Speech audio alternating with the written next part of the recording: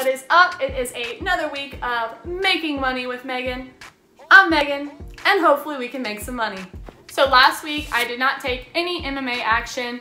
My brain was kind of just stuck on the Belmont Stakes, and my body was stuck on the beach in Florida. This week, they've both come back together in my home state of Louisiana. So when most people think of Louisiana, they're gonna think of Mardi Gras and great food, the LSU Tigers, and the Saints but they're forgetting an important key factor.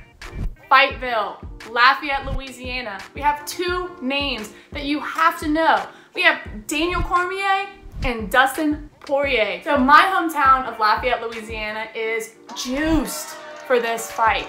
Speaking of juice, I'm gonna go ahead and lay it with Dustin Poirier at minus 230 and call it buying local. I'm also going to be putting a little bit of money on um, Dustin Poirier to win by TKO. His previous fights, 48% have been won by TKO. Do with that what you will, but I'll be taking the plus money. And while Hooker is coming off of a little bit of momentum with his win, that win was washy and it was a decision. And my boy Dustin Poirier, well he lost, got some good reps with an animal in Khabib.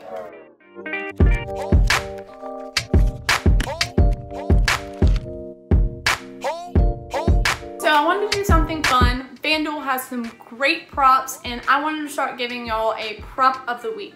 This week we're gonna start with Mitch Trubisky to be the starting quarterback of the Chicago Bears. If we dial it back to 2017, Ryan Pace trades up, not only going over Deshaun Watson, but Patrick Mahomes. If Ryan Pace puts in Nick Foles week one, that's him admitting defeat. I've talked about Louisiana a lot today, so I'm gonna go ahead and stay on brand with a Louisiana question. The question was from the great Boudini and is, what do I prefer?